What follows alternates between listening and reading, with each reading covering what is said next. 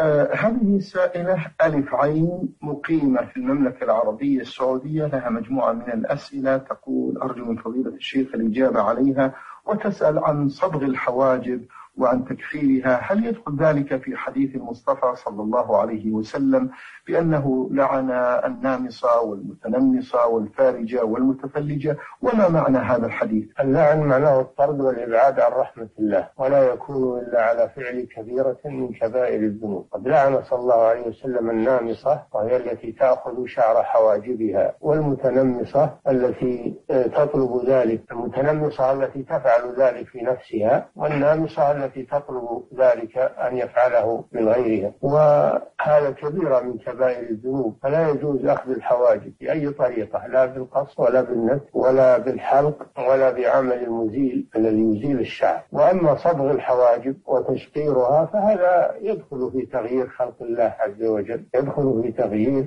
خلق الله. الله خلق الحواجب وجعل شعرها أسود فلا حاجة إلى صبغها لأن وضعها الخلقي أجمل من ما يعمل بها من التغيير. والله جل وعلا أخبر عن الشيطان أنه يقول ولا آمرنهم فلا يغيرن خلق الله وذلك بالنمص والوشم والتفليج كل هذا من تغيير خلق الله. ومنه صبغ الحواجب. ما الداعي إلى صبغها؟ هي جميلة ولا تحتاج إلى صبغ. وأما المتفلجات مراد التي تعمل الفلج بين الأسنان لأن لأن تبرد بالمبرد ما بين الأسنان حتى يكون بينها فتحات طلبا للجمال هؤلاء هن المتفلجات. فلا يجوز هذا العمل. متفلجات للحسن. وأما إذا احتاجت إلى علاج الأسنان وليس هذا من باب طلب الحسن وإنما هو للعلاج. طبيب رأى أنه يعالج هذا السن وأن يزيل ما فيه من زيادة مشوهة للفم. فلا بأس بذلك.